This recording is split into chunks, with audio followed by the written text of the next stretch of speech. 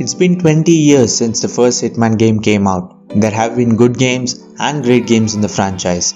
In this video, I'm going to compare Hitman 2 Silent Assassin, which might be tied for the best game in the series, along with Blood Money, with the best Hitman game in the rebooted series, Hitman 2. We know the new Hitman games are visually superior.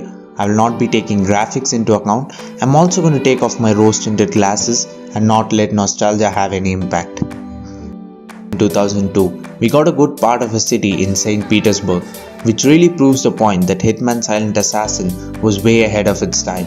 What I noticed when replaying the game was how creative they were with the environment. The environments felt very realistic even though the streets weren't packed with NPCs. The game was one of the first games to truly give you the finish your objective however you want feeling, and this was because of the creative maps.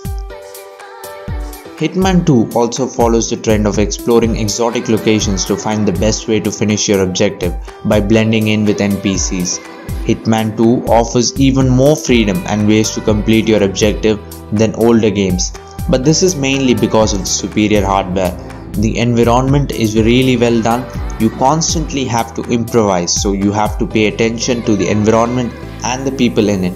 The detailed game world forces you to replay multiple times to really take everything at the same pace as others to not arouse any suspicion.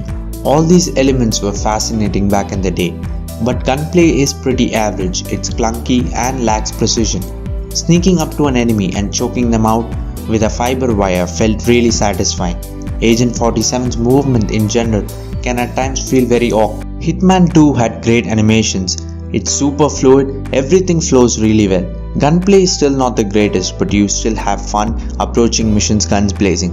Moving around is smooth and Agent 47 is responsive. He really feels very capable. Sneaking around and killing your enemies in creative ways is one of the most satisfying things you can do in gaming.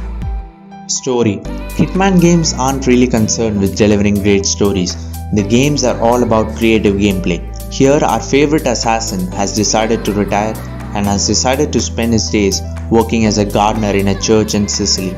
But when his friend gets kidnapped, he goes back to being who he was in exchange of information about his friend.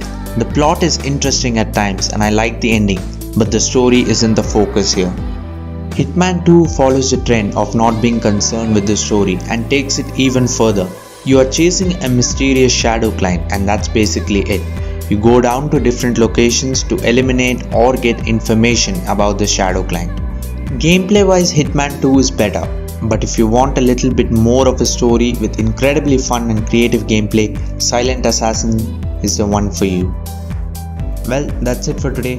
Like and subscribe to the channel and give me your pick in the comment section. Thank you and have a good day.